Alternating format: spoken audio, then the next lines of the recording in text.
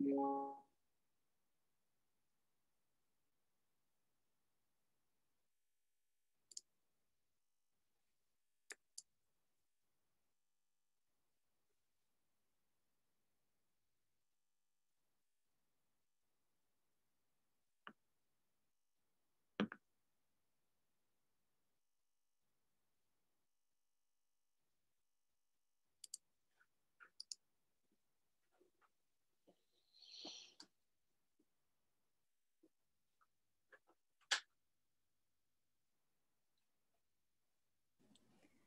Good evening, everyone, and welcome to our very first virtual book event of 2021.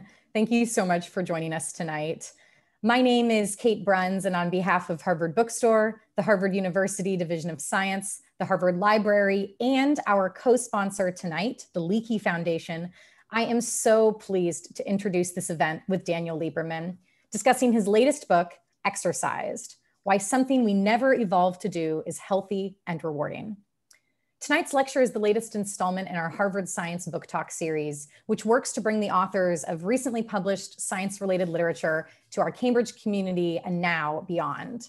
To learn more about upcoming science book talks when they're announced, you can sign up for the bookstore's email newsletter at harvard.com or visit the webpage harvard.com slash science. We also have a science research public lecture series YouTube page where you can watch any previous talks that you might have missed. This evening's event is going to conclude with some time for your questions. If you would like to ask Dr. Lieberman something, please go to the Q&A chat at the bottom of your screen where you can submit your question. We're going to get through as many as time allows for this evening. Also, once the event begins, I'm going to be posting a link in the chat to purchase tonight's featured book, Exercised all sales through this link support Harvard Bookstore. So thank you for your patronage, your purchases and your contributions. And I'll also be dropping a donate link in the chat, make this virtual author series possible, and now more than ever, ensure the future of a landmark independent bookstore. Uh, thank you to our partners at Harvard University, and thank you to all of you for tuning in and showing up for our authors, indie bookselling, and especially for science. And finally, as you might have experienced in virtual gatherings, um, technical issues can arise. And if they do, I'm gonna do my best to resolve them quickly.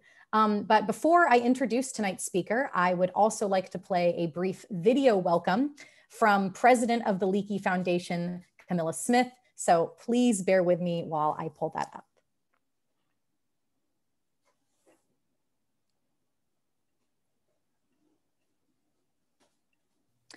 My name is Camilla Smith, and I'm president of the Leakey Foundation. For over 50 years, the Leakey Foundation has been dedicated to supporting human origins research and sharing discoveries with the general public in programs like this. We explore the big questions of what it means to be human. And we do this by funding research of scientists like our speaker, Dr. Daniel Lieberman. We share this research through events like this and online in our lunch break science series and also in our Origin Stories podcasts.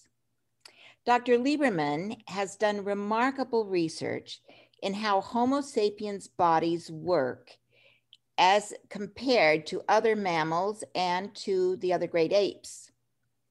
Uh, he is not only a Leakey Foundation grantee, he has also made significant contributions to the foundation as a member of our Science Executive Committee. We are thrilled to welcome you all to today's event and to be part of celebrating Dr. Lieberman's most recent book. You can visit us at leakeyfoundation.org uh, and learn more about the Leakey Foundation Daniel Lieberman, as well as how you can help support this research and our other educational programs. Thank you.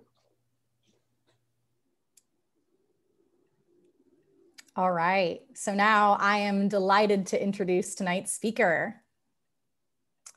Paleoanthropologist Daniel Lieberman is the Edwin M. Lerner Professor of Biological Sciences and Professor of Human Evolutionary Biology at Harvard University. A graduate from Harvard himself, he is the author of the previous books, The Evolution of the Human Head, and the national bestseller, The Story of the Human Body, Evolution, Health, and Disease. As described by Camilla, his research is on how and why the human body is the way it is and the relevance of human evolution to contemporary health. Tonight, he is discussing his latest book, Exercised, praised by NPR as exceptionally informative and highly appealing. They write, quote, Lieberman makes a superb guide for anyone wishing to understand why it can be hard to commit to exercising and why we should do it anyway. And one of our former Science Book Talk speakers, Neil Shubin, calls the book part user manual for the human body and part detective story exploring our evolution, celebrating how exercise will change the way that you think about exercise, diet, and your own well being. We are so grateful to have Daniel Lieberman virtually here with us tonight. So, without further ado, Dan, the virtual podium is yours. Uh, Thank you so much, Kate, and it's a real pleasure to be here. Let me see if, uh, I'm sorry we can't be in the same room, uh, but uh, I guess such is the nature of, uh, of life in the pandemic here. So let me share my screen and uh, let's see if this works. So uh, once again, um, thank you so much for this opportunity. And um, I'm really pleased to, to be here thanks to the, the Leakey Foundation, the Harvard Bookstore, the, the Division of Science, the Harvard Library to talk about um, exercise why something we never evolved to do is healthy and rewarding. And, and by the way, today is the today's the day the book came out in the US. So this is kind of our, our kind of big launch party. So, so thank you so much for being here. Really, really grateful. And, um, and if um, I just want to start off with the observation that if, if the audience here is kind of representative of the US as a whole, we can guess that about 20% of you um, get your sort of recommended minimal dose of physical activity. The US government, the World Health Organization, so basically everybody in every sort of medical organization on the planet suggests that we get 150 minutes of exercise a week. And it turns out only about 20% of Americans succeed in doing that. So that means the other 80% of us hate it, right? And um, and we're and many of them, as we know from from interviews and from data, are ambivalent about physical activity and exercise. They're confused. They feel anxious. They feel bullied in the word. They feel they feel exercised about exercise. And so, so, you know, for them and for many other people, I think there's a kind of degree of trepidation when you approach a book or a talk about exercise. I mean, we're all kind of sick of, you know, easy, you know, seven steps to, to running a marathon kinds of books. And I, and, you know, much as I could probably make a lot more money by doing that, I promise that that's not what we're going to be doing today, uh, and nor that is what my book about, is about. Instead, what I'd really like to do is to try to inform uh, us all about more about, about what exercise is and its evolutionary history with the goal of making us less exercised about this topic. But before I go any further, uh, first things first, there are a lot of people I'd like to thank, um, and I especially want to thank my phenomenal editor, Errol McDonald at Random House. Um, he's got really high standards and I've tried to live up to them. Um, my, my agent, Max Brockman, has been just superlative. And there are many, many, many dear and wonderful colleagues who have read many chapters of this book and commented and helped in all kinds of ways. I don't have time to read them all, and I probably left some of off, off this list. Um, but I really want to thank each and every one of them. They've, they've really helped uh, this book come along uh, enormously, uh, especially uh, my wife, Tonya, who read every chapter, and my running buddy, Dr. Aaron Baggish, who's also uh, worked really hard helping me on this. You often overruns in the morning. Okay, so for the next 30 minutes or so, what I'd like to do is first talk about why I wrote this book and, and what it's about. And then the second uh, part of the talk, I'd like to use sort of the structure of the book to, um, to talk about some of the myths of exercise. And, and we'll, it'll be kind of a rapid and sort of cursory tour of, of what's obviously a much more uh, in-depth uh, book. So first, let's talk about how this book started. So you know, sometimes uh, things really do have an origin. And, and I can say that the origin of this book began in 2012 when I was finishing up my last book, The Story of the Human Body. And, and I was really lucky to get invited to probably one of the best junkets on the planet. I was invited, to, there's a medical uh, conference that precedes the Ironman World Championship every year in Kona, Hawaii. And, and I got invited to this amazing conference, um, which basically takes place over a week. And this is the view from the conference uh, uh, um, hotel. So you can see it's not a, not a, not a tough place to spend a week. And um, now I wasn't there to participate in the race. I was there to observe it and, and to participate in this medical conference. And if you've ever seen a full Ironman, it's an extraordinary thing to see, right? So first of all, they do a 2.4 mile open water swim. Just, just saying that gives me heart palpitations. And then they, they jump off their, you know, jump out of the water and jump onto bikes and do just a, you know, a trivial kind of 112 mile bicycle uh, race across the, the lava fields of, of, of Kona. Um, and then when they get back, it's already about 90 degrees Fahrenheit. So they, they add a marathon, right? A full 26.2 mile marathon. It's an extraordinary thing to watch. And if you see that, you really understand why the motto of Ironman is anything is possible. And, and uh, for the year I, I was there in 2012, this is the guy who won that year. Uh, he's basically a cyborg, not really a human being. He managed to do all that in just a little bit over eight hours, and he looks kind of fresh as a daisy, actually, when he crossed the finish line. But the really exciting moments in, in the race occur at the end because you have to finish by midnight to, to consider to be considered a finisher. And this was the last finisher uh, of the year, uh, of that year. Her name was Harriet Anderson. She was 77 years old and she did it in just under 17 hours. And here she is being greeted um, by the by the women's winner. Um, and you so you can just, you know, it's just a marvelous thing to watch the ability of human beings to do this kind of extreme endurance, especially in, in, eight hours or, or for that matter, at the age of 77. So, but would I ever want to do that? No way, no way in hell. I mean, I, I, I left Kona thinking that is not for me, especially the swimming part. No, no way would I do that. And then when I got home, again, remember, I'm just finishing up this book on, on, the, on, on the evolution of the human body. And I've been thinking about, you know, about health and whatever. But then very, a few weeks later, I packed my bags and I was off again on another trip, this time to northern Mexico to do some research with the Tarahumara. So this is in the Sierra Tarahumara. This is actually a photograph I took on that trip. It's one of the most beautiful places I've ever been on the planet, but it's extremely remote. With my friend, help of my, my, my colleague and friend, Mickey Mahaffey, we were basically driving on these little, you know, up these roads into these crazy, very, very, very remote areas and, and this two by four and, and, and sleeping on floors of pueblos. And I was measuring people's feet and studying people's running. And um, uh, but I have to say though, though the Tarahumara are extremely famous for running, I never saw anybody running unless I paid them to do that until I got a chance to see one of their famous races, actually two of their famous races. So there's a there's a, both a men's race and a women's race. And the men's race is called rarajipari. And it's, uh, it's kind of like a marathon combined with kind of soccer. There's a little tiny little wooden ball. Actually, I've got one over here. You can see it, but it's a little wooden ball and they flick it with their feet and then they um, and then they um, and then they and then they chase it and then they kick it again and then they ch chase it and they kick it again. And they do this sometimes for up to 50 or 60 miles. And there are two teams and the team that laps the other one eventually wins. It's, it's extraordinary uh, race to watch. There's also a women's race which uh, which is also just spectacular. It's called an ariwete instead of a ball they have a, a hoop a cloth hoop and they use these sticks to flick them. And usually those races last about, about just a marathon. and uh, so I got a chance to see these amazing races. Um, um, but other than that, I didn't see anybody running ever, um, uh, unless I paid them. So there I was traveling around and I was thinking about Ironman and these incredible people and all this, all the sort of pain and suffering they put them through, themselves through. And then I saw this, this wonderful, beautiful race, um, races that are also kind of similar in terms of endurance and difficulty, but very different in some ways and very similar in other ways anyway, but I was also measuring people's feet and I was talking to people and I was had my little, you know, I was being a good anthropologist and I had my set of questions and I was asking everybody about how much they ran and how they trained for running.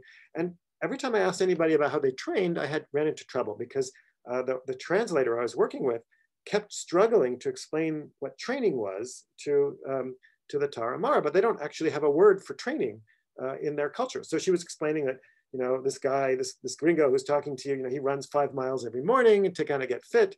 And, and then this one guy, uh, who I'll call Ernesto, um, I'll never forget him because he was, uh, he was a, I was told a very famous runner. And in fact, I got a chance to, to watch him running in the rarajipari.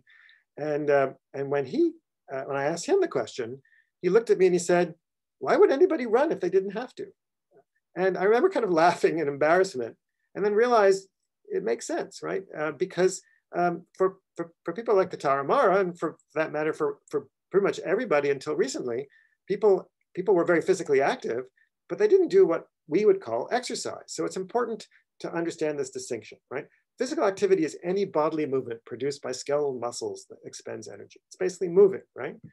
But exercise is discretionary. It's voluntary physical activity to sustain or improve health and fitness, right? You go to the gym to exercise, you go run five miles in the morning to exercise. But the Tarahumara, when they do their long distance runs, they don't think of it as a form of exercise. They actually think of it as a form of prayer. And to me, the apotheosis of exercise is the treadmill. I mean, think about it. you pay money either to buy one of these things or to go to a gym to use one of these things to work really, really hard. Uh, it's noisy, it's loud, it's, it's kind of treacherous, it's boring as hell, um, and it gets you nowhere, right? Um, try explaining that to, to like your great, great, great grandparents, like that you would actually spend your own hard-earned cash uh, to torture yourselves on, on one of these things. I, I, I, generally hate treadmills, even though I put them on, people on them for a living. Um, and uh, I had a, a, sort of another sort of experience that kind of made me think about this because I work in, I've been, for the last 12 years, I've been working in this community in Western Kenya called Pemja. And it's a beautiful place. It's way high up on the Western Rift Valley. In fact, you can see, I don't know if you can see in the photo there, but down in the distance, that's, a, that's Lake Victoria, and that's the town of Kisumu. That's where uh, uh, Barack Obama's father was born. Anyway, in this area of Kenya, it's very, very rural and very poor. There's no electricity, there's no running water. Uh, there's no machines. People do all their labor by hand or with the help of, of, of, of animals. Um, and, uh, and, and uh, women especially carry huge loads all the time. They carry water, they carry firewood. So we were kind of interested in that. And so my graduate students and I and my Kenyan colleagues, so we decided to bring a treadmill up to the area and, and study uh, women while they were carrying loads on, the, on these treadmills, you know, with, uh, with an oxygen uh, analysis system. So we could measure how much energy they're spending. So we, we schlepped up, you know, I bought a treadmill and we schlepped this treadmill all the way up these dangerous, difficult roads. And I think you get a sense from this video of just how difficult the driving is there. But when we got there and, and put people on the treadmill, they had a hard time doing it. And you too would have a hard time walking on a treadmill if you had never walked on one before. It's a really weird, bizarre, and strange thing. And, and uh, people didn't really like it. And we realized that we had to abandon the treadmill and, and, and study people as they were walking over ground. It was just a complete waste of time and money. And by the way, just so you know, uh, just to kind of add to my story about treadmills, did you know that the modern treadmill was basically invented uh, by uh, a guy named William Cubitt in the Victorian period uh, to punish prisoners because they were worried that people in debtors prisons and, and other prisons in England were, were relaxing and having too much fun. So they invented these treadmills to, to basically keep them, keep them trudging all day long and make them miserable. Oscar Wilde, for example, had to, had to trudge for about six hours a day on one of these treadmills. So if you hate a treadmill, there's a good reason. It has a history of people hating it. So how did I end up putting people on treadmills, as this poor guy is in, in my lab, and, and studying and writing about the evolution of human physical activity? Well, for me, it's actually a long and kind of interesting story because I, I'm by no means uh, the kind of person I would have ever associated with, uh, with, with exercise and physical activity when I was growing up. So here's me in, I think, sixth or seventh grade. Um, that's me in the in the little red circle there. I was a total nerd. I was very physically uh, uh, insecure. I wasn't very good at anything. I know it's a cliche, but I really was picked last for most teams uh, all the time.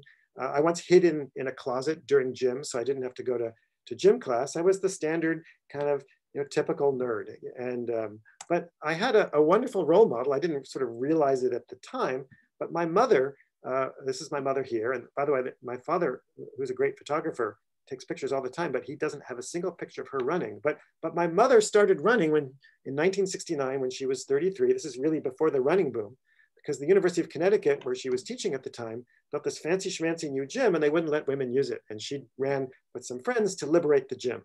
And then she became hooked and she started running about five miles a day, which she did for about 50 decades. And she still exercises uh, regularly every day. And you know, I just thought, well, that's what mothers do, right? I didn't realize when I was a kid uh, how extraordinary and, and, and, heroic she was. So I grew up with, with parents who, who were physically active. My father also ran with my mother. And on family holidays, we would, we would go hiking and skiing and stuff like that. So you know, we didn't really do sports, but, but my parents were certainly encouraged me to be physically active. So, so, uh, so I did have that kind of, of, of background, um, but I didn't really think about it very much, of course, until recently. And then I grew up and became a professor. And, and for, for much of my career, I was a head guy. I focused on skulls. But I started studying, uh, getting interested in the problem of how humans, because we're bipeds, we, we walk and run on two legs, how it is that humans keep our head still. Because remember, I'm a head guy, right? I'm a skull guy. How do we keep our head still when we run? Because unlike animals like this pig, which can flex and extend its neck to keep its head stable, we're like pogo sticks. So turns out we have this, this interesting uh, structure called the nuchal ligament. And with my colleague, uh, Dennis Bramble, we started studying it. We started doing biomechanics in the lab and you know, taking people's heads off and making them run, as you can see from this video. And that got me interested in, in how people ran um, back in, in the old days. And in 2004, uh, Dennis Bramble and I published this uh, paper in Nature, which is which was uh, on the cover of Nature said uh, "Born to Run." Of course, the actual title of the paper was much more academic, and um, and we spent many years writing that paper. But the basic argument of the paper was that humans evolved to be long distance runners, and that running is in addition to walking was important in human evolution. And of course, if humans evolved to run millions of years ago, they must have been running barefoot because shoes were only invented recently. So we then started, I then started studying uh, barefoot running and that led to another paper in Nature. And then soon thereafter, uh, I wrote the book, The Story of the Human Body, which is really um, um, about, about how and why our bodies are the way they are. And, um, and of course, the fact that I was studying running got me interested more in my own running. So I was a bit of a jogger, you know, following my mother. I would in high school, I would run occasionally in, in, in, the, in the streets near our house. And in college, I would occasionally do a, you know, a short little loop around the Charles River when I was an undergraduate, but I was never a serious runner. And it wasn't until I started working on this paper on the evolution of running that I really started to seriously up my running. And in 2007, uh, I thought I'd better put my money where my mouth was. So I actually ran my first marathon and I've become a bit of an addict ever since. I've done, done now uh, 24, I believe. Um, and then I, because I like to tr try what I study, I also tried barefoot running and I, I thought I should try running against animals. So I, instead of you know, hunting a kudu in Africa, I, I joined this race in Prescott, Arizona called Man Against Horse. And I basically had a wonderful time over the last, uh, last uh, 15 years or so, uh, really enjoying running. And, but but I, I, I, when I got into this, I really had no idea uh, what the kind of controversy uh, I was going to get involved with. Now, you know, paleoanthropology is famous for controversy, but oh, you should try barefoot running if you want to try controversy, right? So to, to my astonishment, when we started publishing about barefoot running, I, I, I, was, I was sort of caught between these two worlds. So there was this one group of folks who was arguing that, that basically shoes are evil and they're like coffins for your feet and barefoot running is better. And then there was a whole another group of folks who were arguing that, that barefoot running is, is, is bad for you. And like you know, anybody who doesn't, who runs barefoot is like a, you know, probably a polygamist or some communist or something like that. And, and, every, and most people were just completely confused. And it made me realize that so many people are just exercised about exercise, right? Now the word exercise means to be vexed, worried, anxious, and harassed. And, and for example, in terms of the barefoot running debate, people were wondering, you know, is it better to run barefoot or not? You know, will running ruin my knees? How much should I run? But there are also so many other questions I was hearing, you know, how do I get myself to exercise in the first place? How much weight should I do? How much cardio should I do? And, you know, how much sleep should I get? And is, you know, is, is my chair out to kill me? And, and so on and so on. You know, I think we're, we're really extremely exercised in this country about exercise. But of course, the biggest problem of all is that most people aren't really getting enough exercise, right? Now, and everybody knows every, uh, that exercise is healthy. I mean, we've known that for thousands of years. Every culture on the planet knows that. And yet we struggle to get enough, right? According to the CDC and various other kind of organizations that kind of track this, only about 20% of Americans get the recommended minimum dose of exercise that, uh, that we are considered recommended to get. I'll talk more about that dose a little bit later on. But that's 150 minutes a week of moderate exercise um, and, and, or 75 minutes a week of vigorous exercise. So that, for me, raises some questions, like why are we so exercised about exercise? Well, I think one reason is that we're confused, right? We're, we're, we're constantly barraged with, with, with kind of contradictory information that, that, that often creates kind of whiplash. Like, so one day you can read just about how wonderful running is for you. And then the next day you can read about, you know, runners getting, you know, dying like Pheidippides at the end of the marathon, right? And, and then, you know, another day you can read about how important aerobic physical activity is for your health.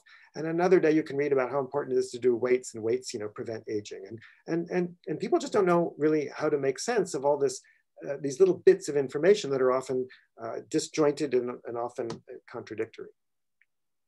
I think another really big problem is that, is that so much of the lens that we use to evaluate exercise has to do with weight loss. And that sort of makes sense because a lot of people in this country are, are, are, are struggling to lose weight. But, but, but weight loss is not the only raison d'etre to, to, to run or, or, or, or, walk or, or swim or cycle or whatever it is you like to do. And, and it, it gives us a very narrow perspective on, on, on exercise. We'll talk a bit more about that later on. And then the other extreme is that we talk a lot about elite athletes, right? The fastest, the strongest, you know, these amazing people. But, but I can tell you that most of these folks have very little to do with, with, with you and me um, in, terms of, in terms of how their, uh, you know, their physiology and its effects on their health. um, it's, it's, to me, it's a bit akin to, to focusing too much on, on, on, on, on sort of supermodels instead of normal people when we think about what's a normal human body. But I think that the kind of the, the biggest problem is that we have a very Western post-industrial bias. Almost all the data that we have about physical activity comes from people from America and Europe. So about 80% of the data, according to a study that we recently did.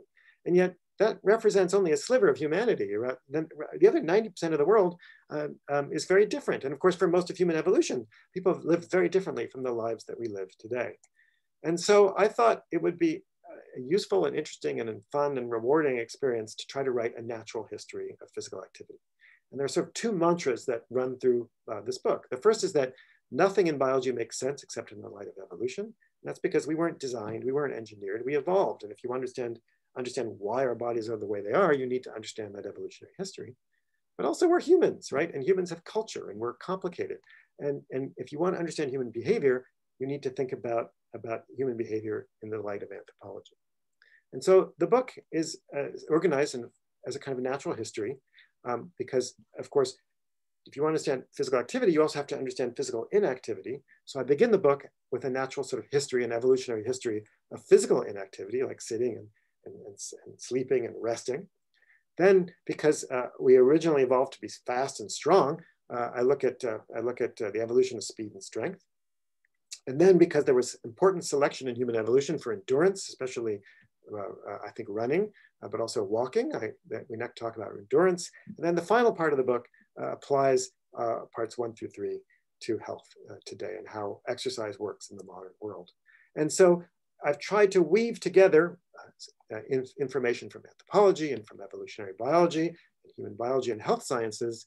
But because that, that you know, that's this kind of tedious reading and also try to kind of make it personal, I've tried to weave throughout the book my own experiences because I've spent the last 20 years as trying to get as much uh, experience as possible um, uh, in traveling around the world and seeing how people use their bodies. And, and, and you know, so I've been to, you know, of course, racing against horses and my, the work I've been doing in Africa, and I got a chance to go hunting uh, in Greenland, and the work in Mexico, and the work in the lab, et cetera, et cetera. Um, and I wanted to kind of weave that throughout the book as a kind of a narrative. So, so the book has four sections, uh, inactivity, speed and strength, endurance and health. Um, and uh, each of these has you know, chapters on, on particular uh, uh, uh aspects of physical activity or inactivity. But as a way of kind of addressing the fact that people are so exercised about exercise, I also added to each chapter a discussion of various myths about speed and strength and resting and sitting and sleeping and walking and running and aging, etc.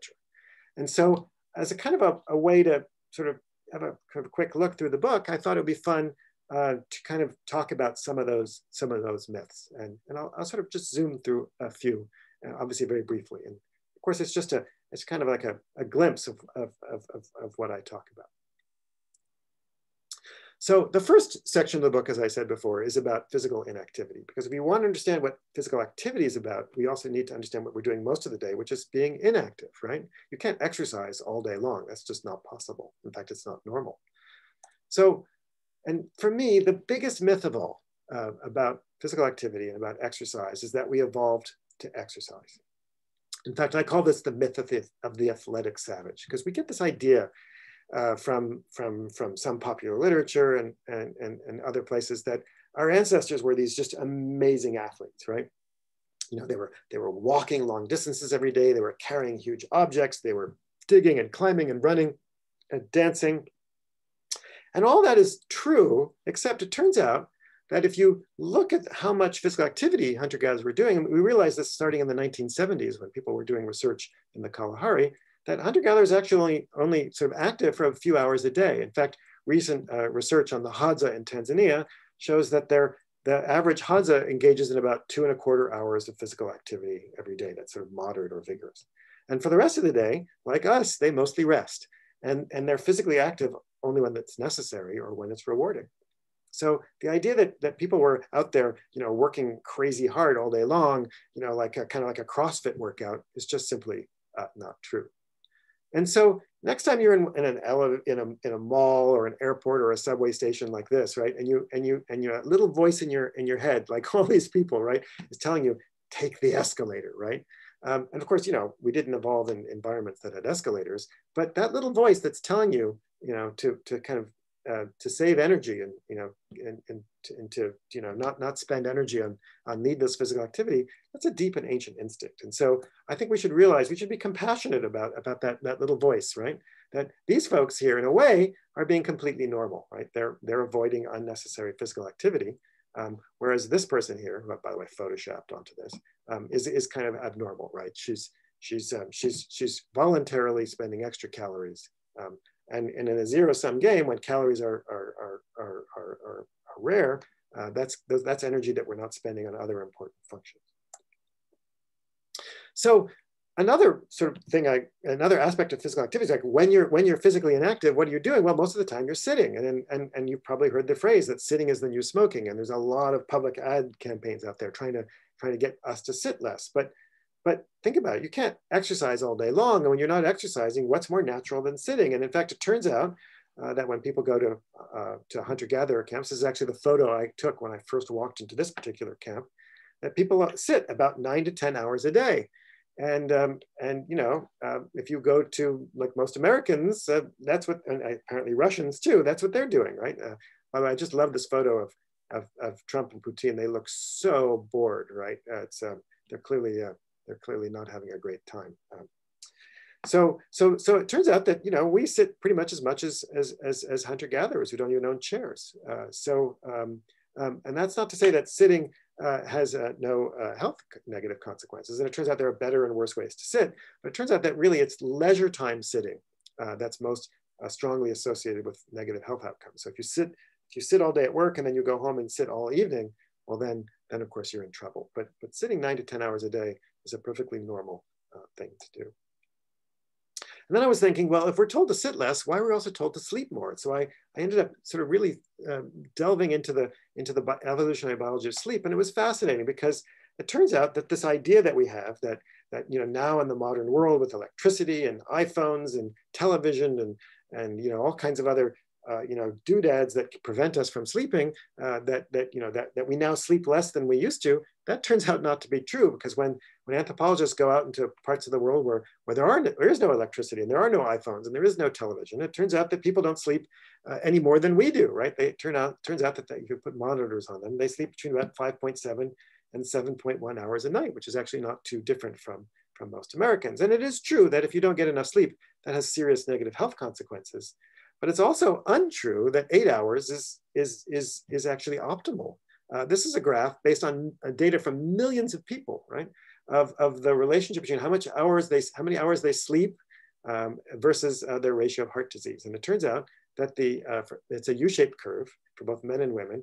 And for most people, the optimum seems to be around seven. So, so this idea that eight hours is absolutely necessary is, is just, uh, is not true. And, but the problem is that we then make people exercised about it, right? We tell people think that they're not getting enough sleep and then they get stressed about it and stress elevates cortisol and cortisol is, the, is, a, is a hormone that makes you aroused and then therefore prevents you from sleeping. So I think we need to be, you know, while sleep is a serious issue, we should be a little bit, um, maybe a little bit less prescriptive about it. Okay, so that's inactivity. Part two of the book is about speed and strength.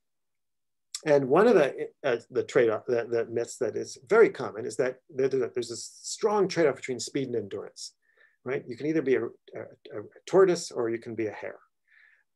And you know that's a perfect example of, of our bias on elite athletes. So here's Eliud Kipchoge on the left, he's the world's fastest marathoner. And here's Usain Bolt, who's now retired, but he's the world's fastest 100 meter sprinter. And, and Kipchoge is running a marathon at 5.9 meters a second. That's like a 440 mile, and he can do that in about two hours.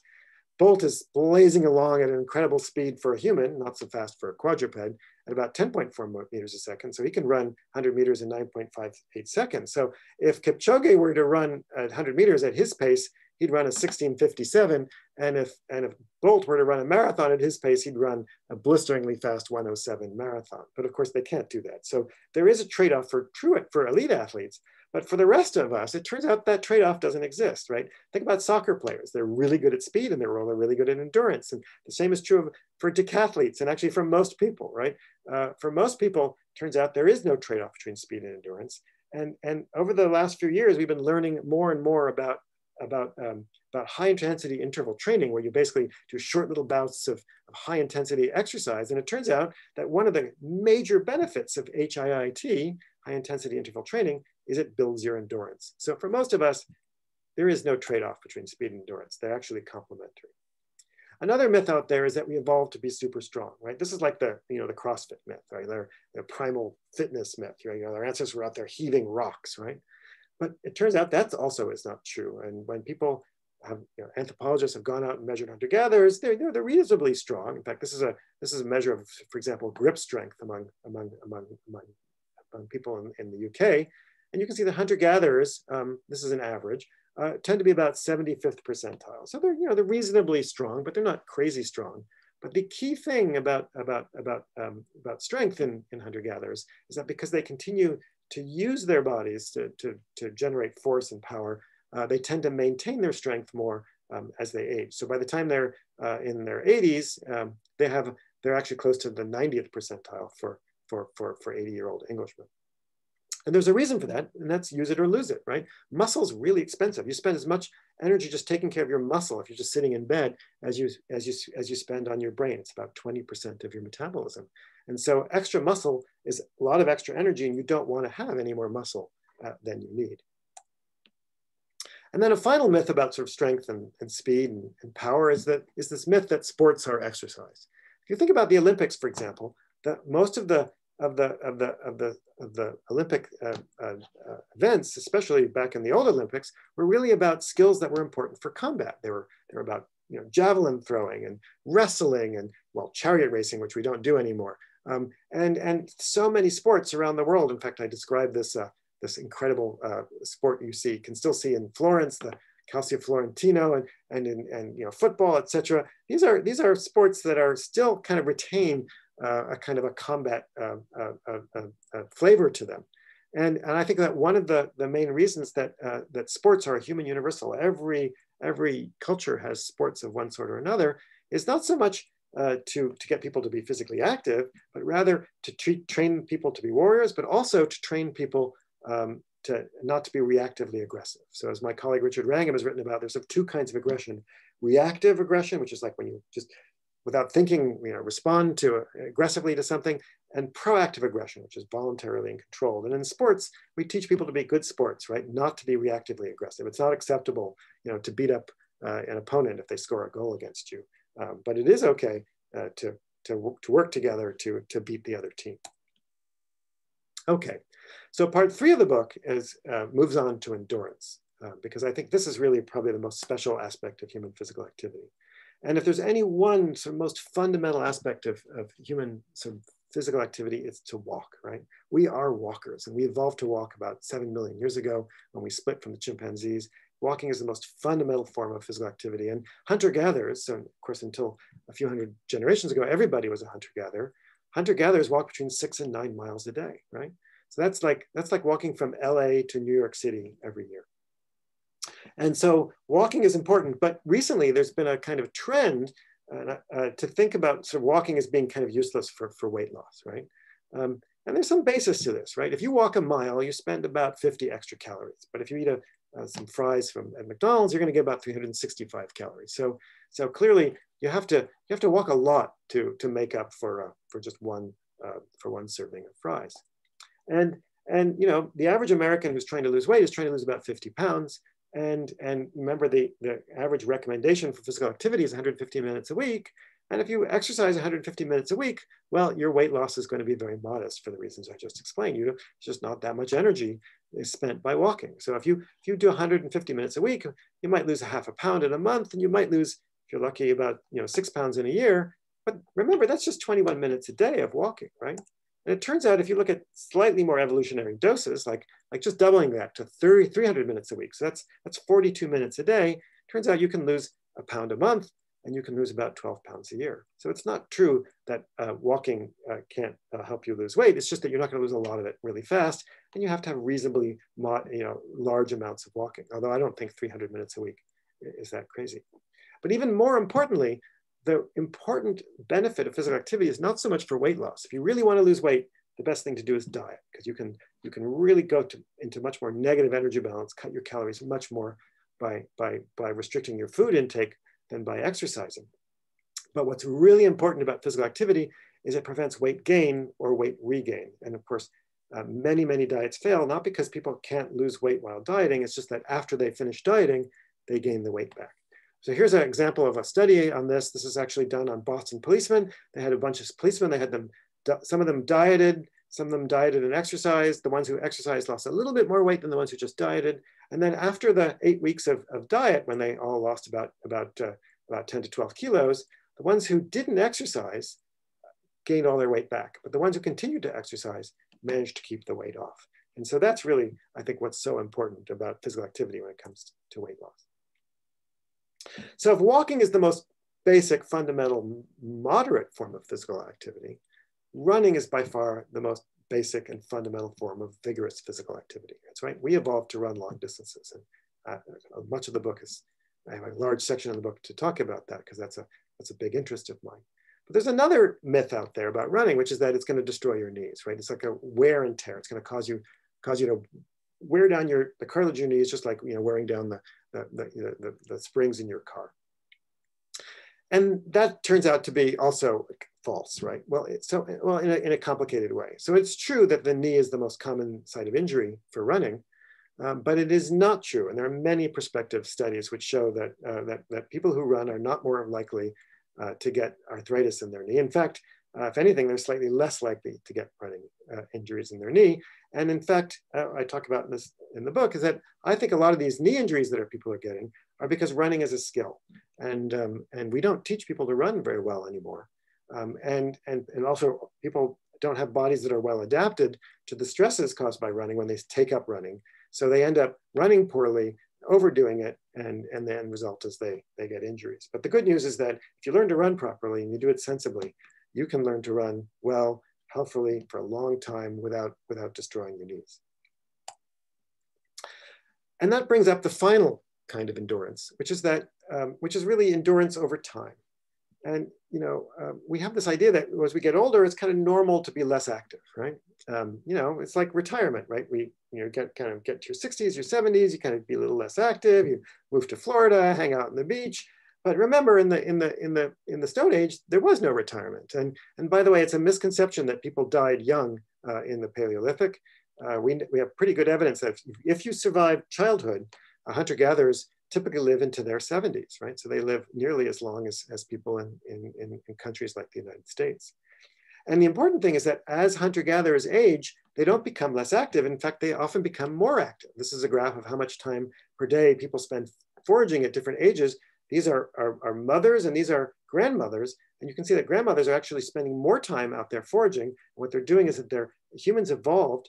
Uh, you may have heard of the grandparent hypothesis to, to, to, to, um, to, to to supply food to their children and their grandchildren. But remember, they didn't just like, you know, give them checks, right? They were out there hunting and gathering and getting food, which they would then supply uh, to their children and their grandchildren. And importantly, that physical activity turns on all kinds of repair and maintenance mechanisms. So it turns out that the older we are, the more we benefit from physical activity.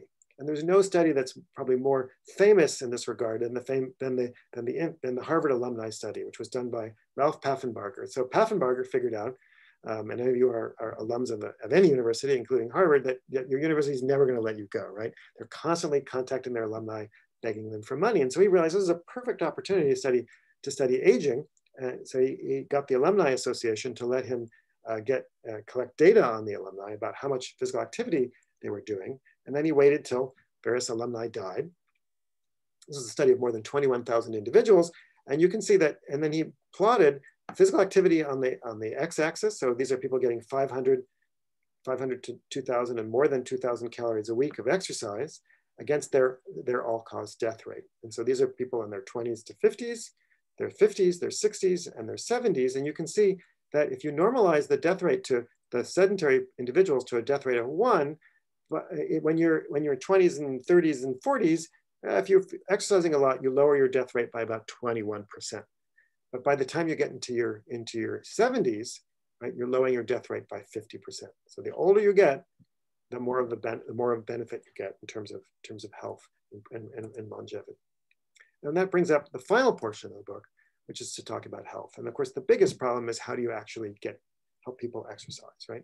And the approach that we've taken in our world today is to commercialize and industrialize that uh, physical activity as well as to meta medicalize it. We sell it and we prescribe it. And, and the proof is in the pudding. It, you know, it helps some people, but for the, obviously for the vast majority of Americans, this approach isn't really working. And I would argue that we should take an evolutionary and anthropological approach. Remember, the reason that people were physically active for most of human evolutionary history were for two reasons. One was when it was necessary, and the other was when it was rewarding. And of course, the, the times when it's most rewarding, think about those Tarahumara runners, is when they're doing it for some kind of social reason, right? In the case of the Tarahumara, they're doing it because their, their, their, their long distance races are a form of prayer. So, um, so I think we can learn a lot about how to, we can help people be more physically active, and I discussed that by, by applying uh, these, these, these, these principles. Another question that is often on people's minds is like, how much should I do, right? What type should I do, right? And, and, and again, when we you take a kind of medicalized approach, there's no one answer, right? And why could there be, right? Because it depends on who you are and what your, what your kind of, what your background is and what your, what your goals are. Are you worried about Alzheimer's or heart disease or, or just simply what age you are going to live to? And, and, and, um, and furthermore, like what's the right dose? There is no one dose. So uh, this is an interesting uh, uh, uh, illustration of that. This is a, a, graph based on more than a million Americans. And what it shows is uh, how much moderate to vigorous physical activity people get a week, so minutes a week, against their relative risk of death adjusted for age. And you can see if you, if you don't exercise at all, your relative risk of death is about one, right? But if you get just 60 minutes of exercise a week, of just moderate to vigorous acti activity a week, you can lower your, your, your, your risk of death by about 40%. If you do 150 minutes a week, so that's just 21 minutes a day, you, you approximate about a 50% reduction. And that's where this 150 minutes recommendation comes from. But if you do, you know, 320 minutes a week, well, you get even more benefit and 500 gets you even more benefit. And of course, eventually uh, it tails off. So the answer is there is no one dose, right? Um, and there is no one uh, a, a type or kind to do. You wanna mix it up um, some is better than none. And if you want to do more, you're going to get more benefit from it. But eventually, those benefits diminish. And then finally, I think we need to stop uh, uh, making the claim that exercise is a magic bullet against disease. Now, there is no question that exercise lowers the risk of many common diseases, right? It, it helps prevent obesity. It's important for preventing heart disease for respiratory tract infections. We have no data yet on COVID, but I'll, I'll make a bet that like for other respiratory tract infections, physical activity helps improve your immune system. Uh, we know that there's compelling data that physical activity reduces your, your risk of cancer. Uh, it's by far the best way of preventing Alzheimer's, uh, type 2 diabetes. It has protective effects for arthritis, for osteoporosis, for depression. The list is long. And in, my, in the final chapter of the book, I go through every single one of these diseases and explain what those mechanisms are and what the, what the, what the, what the, what the evidence is and, and what the doses are and all that kind of stuff. But, but, but the point I want to make is that although physical activity lowers the risk of many of these diseases, you can still get them even if you exercise, obviously. And, and really, it's not that exercise is a form of medicine, it's rather that it's the absence of physical activity that increases your vulnerability to these diseases, right? So if, it's not that exercise, we, we, say that exercise prevents heart disease, but a really a better way of saying it is that a lack of physical activity makes you much more vulnerable, much more likely to get heart disease. And it's an important distinction. And hopefully um, that chapter will help you uh, understand that and why it's important. So to conclude, I hope that the book entertains and informs and enlightens. And I, what I really want to do is to change the way we think about exercise in particular and about the science of health in general in our in our in our in our culture. I think we've oversimplified things. I think we're, we're, we're very some of the data we use is highly biased towards Westerners and elite athletes and towards weight loss. I think we've you know, there's nothing wrong with commercializing and medicalizing exercise, but we've, we've gone way too far in those, in those directions. I think we're very often judgmental and uncom uncompassionate about people who are struggling to exercise when it's after all an abnormal and difficult thing to do. And then finally, I hope the book is useful, right? Just as for Ruth Bader Ginsburg, who managed to make it to 87, uh, in large part by, by, by being a gym rat and, and, and, you know, not crazy amounts of physical activity, um, that hopefully that, that the information in the book can, can help people make exercise fun and, and how it would also make it necessary and how, how and why it can be healthy and rewarding. And, but most fervently, I hope that, um, that the book helps people enjoy being active, um, but helps prevent us from being exercised about it. So uh, thank you, and I look forward to, to answering some questions. Thank you so much, Dan. That was absolutely wonderful. We've had a lot of great questions, so I'm going to get right into it so we have time for them. Okay. Um, Barbara asks, what exercise is best to strengthen your brain? um, again, this is part of this kind of prescriptive thing. We all want to know like what to do. Um, I, am not an Alzheimer's expert, and there are, of course, many different kinds of, of, of, of, of, neurological issues. Um, I think it's pretty clear that, that moderate uh, cardio is really helpful for, for many aspects of brain health. And, uh, and, and, and moderate exercise is good, and there, but there's some evidence that, that vigorous exercise can even have extra benefits. Um, there's, there's, a, there's a, lots of effects of physical activity on the brain. One of the most important is that physical, physical activity upregulates a molecule called BDNF, brain-derived neurotrophic growth factor, which is a mouthful, but basically it's like Miracle-Gro for the brain. And it, it helps protect the neurons in the brain and the cells that protect the neurons. And uh, it has been shown to have all kinds of wonderful benefits. But there are other important benefits of physical activity on the brain. Um, one of them is uh, uh, it, it's, you know, as I said before, it helps lower Alzheimer's and, and, and, and so on. It's, it's, it's, it's again, it's always the same answer, really. It's you know, some is better than none, and more is probably a little bit better. And uh, but there's there's no one simple prescription. All right, um, we have a great question from Ruben Rodriguez, who asks: um, You mentioned running as a form of prayer. Have you learned anything related to the runner's high? Any anthropological oh. or evolutionary reason? Yeah, so uh, I do have a whole section on runner's high in the book. Um, so runner's high is actually caused primarily by endocannabinoids. So they're basically, you know, marijuana-like compounds, which your brain, your body produces when you're when you're doing long distance, you know, long duration physical activity. So you can't get it in a few minutes. You have to kind of get out there for a, for an hour or two. Um, and the cool thing about about about runner's high is that your body not only produces more um, more endocannabinoids, but your body also produces more receptors. You get like a super dose.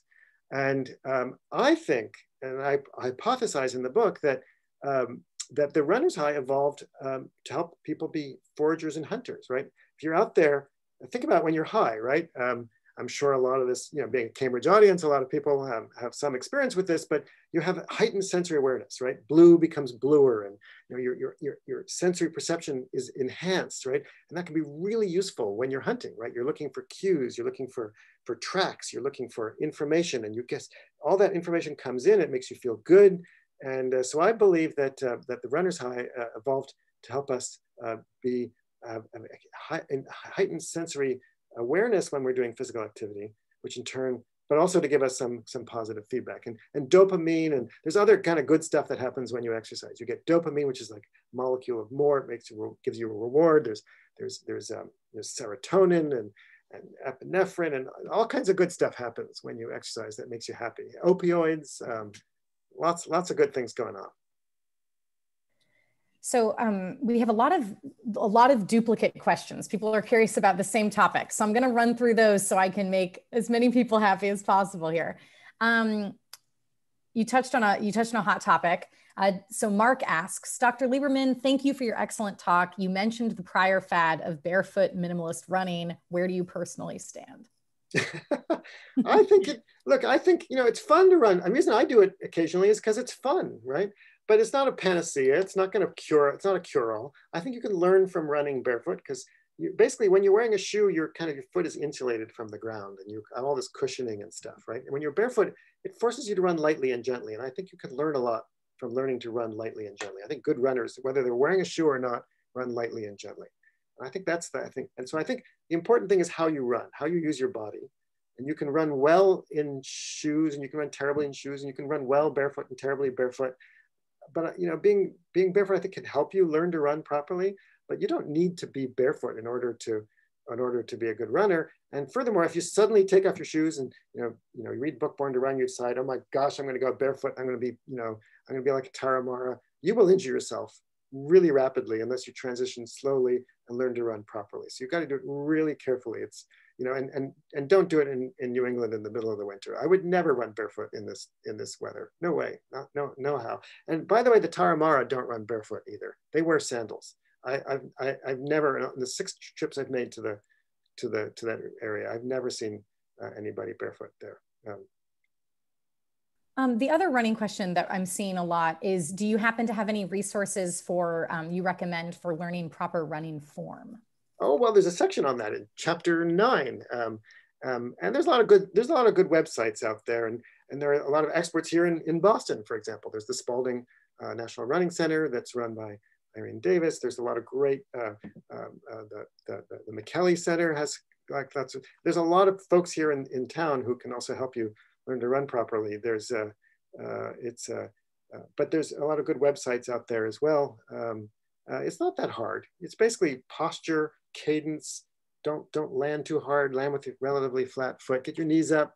Um, it's it's it's not that hard to learn to run properly. It's just a few skills, but uh, you have to kind of learn the muscle memory to get good at it.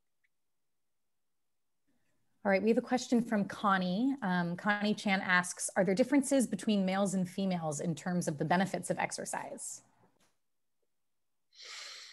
Um, probably, yeah. I mean, um, for example, um, physical activity is important in women for, for, um, for lowering, well, it depends on how you express this, but uh, just even running a, a, uh, you know, 20, 30 miles a week around the Charles River has been shown to lower levels of progesterone and estrogen uh, in, in, in, in healthy women. And one way of thinking about it is like, oh, it's lowering your hormone levels. But the other is that if you're not physically active, you actually have abnormally high hormone levels. And, and, and we know that there's an association between very high levels of these reproductive hormones and, and for example, the probability of breast cancer. So it's one of the reasons that physical activity is so protective against, against breast cancer. Um, and it's more so than, than in terms of the effects of physical activity on testosterone. So I think that would be one example. Um, but for the most part, I would say that the benefits are, are very similar no matter, no matter who you are. Uh, we have a great question here from Winta. Um, Winta asks, in more urban settings, is there any trade-off between outdoor physical activity and exposure to air pollution? Ooh, interesting question. Um, I suspect sometimes, I mean, um, I don't know how much good data there are on that. Um, certainly I've run in some places uh, that um, I felt like uh, after going for a run, I felt like I had smoked a pack of cigarettes, and I've never smoked cigarettes, so I'm not really quite sure what that's like. But I certainly was felt felt the the, the, the pollution. So um, so I suspect that uh, air quality can be can be a problem um, for for for outdoor running. Fortunately, you know, that's not true in, uh, in you know most of the year in most American cities. So, um, but uh, but yes, that that can be a that can certainly be a factor again, you know, the most important thing is is is getting active and you know finding the right environment where you can enjoy it and feel safe and feel healthy. And if that means being inside, that so be it. But um, um, but certainly most people enjoy being outside more than they enjoy being inside. Um, a question from David. David Reason asks, does the relationship between exercise and decreased mortality depend on the duration in months or years that an individual has exercised? Oh, well, so there's a lot of data on that. There's a long answer to that question. But yes, I mean, the earlier, the more you do it, the, the more of the benefit you get. But if you start later on in life, you still get some benefit, the benefit. So, so there's, so there's, there's studies which, which show, you know, the difference between people who've been lifelong physically active versus people who pick it up, um, uh, or, or people who then stop being physically active. Um, and, um, and so know, the, as you might imagine, the data are that lifelong physical activity uh, is the best. Just keep it up, don't stop as you get older. Um, but um, but if you if you've been physically inactive and you and you want to become more physically active, there's there's abundant data that there are enormous benefits um, from from picking it up uh, in in midlife. So there's ne it's never too late to start, and and there's no amount that's not beneficial we have a tremendous amount of questions that I'm sifting through over here. Um, let's see, an anonymous attendee wants to know, how do we compare in our level of exercise with other primates? Oh my gosh, that's a great question. Yeah. So one of my favorite facts is that your average sedentary American is still more active than your typical wild chimpanzee. So chimpanzees spend about half their day feeding, and they're just kind of sitting around, putting stuff in their mouth, and they're kind of mostly resting and digesting. And occasionally they go through these little bouts of wild sort of activity. They fight and copulate and stuff like that.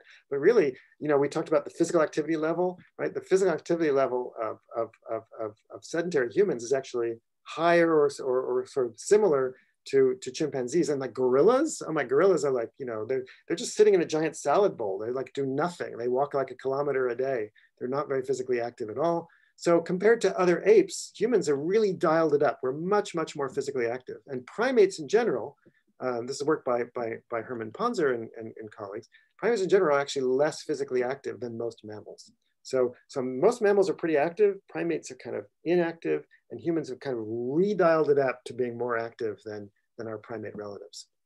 And that's actually a very important part of our biology. We've been selected to be more active than our, than our close cousins. Great question. That is absolutely fascinating.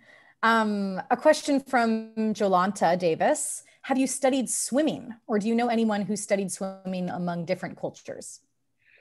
So yeah, there's not too much on swimming because you know humans um, humans really aren't very good swimmers. So obviously swimming is is people, something people love to do, and there there's a you know there's a whole kind of kind of scientific kind of conspiracy theory called the aquatic ape hypothesis, where, where people think that you know we evolved to swim and that explains why we're hairless and all that sort of stuff. Not true. Um, but you know, swimming is obviously a wonderful thing to do, and and of course there are you know people all around the world near near near near oceans who swim.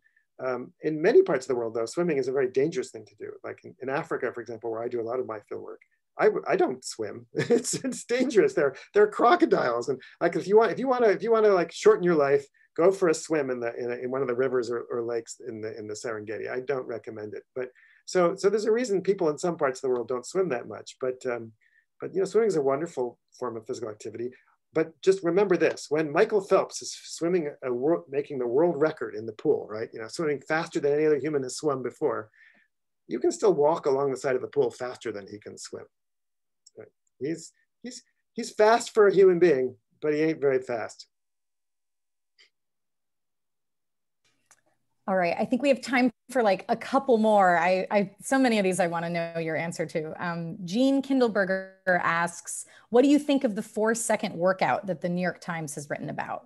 Oh, I just read that with great delight. Well, look, the more we study high-intensity interval training, um, and Jean, by the way, is a former neighbor, so hi, Jean. Uh, the more we study high-interval training, um, the more uh, we more we realize that um, that that even short bursts of, of intensity can have really great benefits. And there's a recent paper that just came out from a lab in Texas, which showed that even repeated four second bouts, but these were really intense four second bouts, right? Um, actually, uh, when they added up to a minute, really had a, a wonderful benefit. Um, so so, you know, it's part of this general idea that the more we study physical activity, the more we realize that mixing it up is good, right? If you go out every day and do the same walking routine, that's fine, that's great. If that's what you like to do, that's fine. But you can get some benefits by mixing it up and occasionally putting in a little bit of intensity.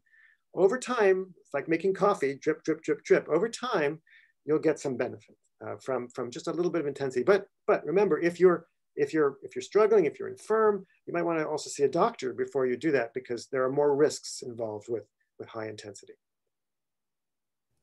Okay, I think we have time for one last question. Um, and this is probably what all of us want to know the answer to, Dan, which is um, Lisa asks, how can we make exercise more enjoyable? Oof. I think the way, I mean, there's no one answer, right? There are people who like to listen to music. They like to watch a, like, know, TV show on, on a treadmill. Um, that's not my, my thing. I think for most people, and if you look at the evidence, for most people, the way to make it more enjoyable is to make it more social. Exercising with other people, right? Whether it's as dancing, which is a form of exercise with other people, or, or, or, or running with a group of people, or walking with friends, or, or whatever. Of course, it's nice sometimes to be by yourself and have a sort of meditation, and I enjoy that too. But if you're if you want feedback and, and positive reinforcement and and and and also a commitment, right? Because I often run with my friend Aaron, and I have to meet him at six o'clock in the morning, and I don't want to be there at six o'clock in the morning, but you know he he you know he's got I can't leave him out on there in the corner and there in the dark, right? So I have to go out there and and and, and join him, and and you know by the end of the run, I'm I'm glad I did. So so being making it social makes it more necessary, but it also makes it more fun, and I think um, and I think. Uh, I think the more we can we can enjoy each other's company, particularly in this day and age when we're all so isolated um, because of this pandemic and forced to basically live in our houses and not see anyone, the more we can find ways to, to interact with each other and be active while we're doing it, I think the better off all of us will be.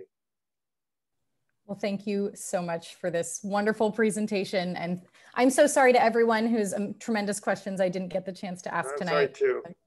But um, until next time. So thank you, Dan, for your time and for this fascinating and ultimately compassionate event. I was nervous about, you know, my exercise habits and this made me feel tremendously, I don't know, better. There's so much empathy in this in this talk you gave. So we, thank we you. We have that. to stop being exercised about yeah. exercise. Yeah. Yeah.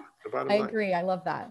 Um, and thank you everyone for spending your evening with us. Please feel free to learn more about this book and to purchase Exercised on harvard.com. So on behalf of Harvard Bookstore, the Harvard Division of Science, the Harvard Library, and the Leakey Foundation, have a healthy, not exercised January. Keep reading and please, please be well. Take care. Thanks.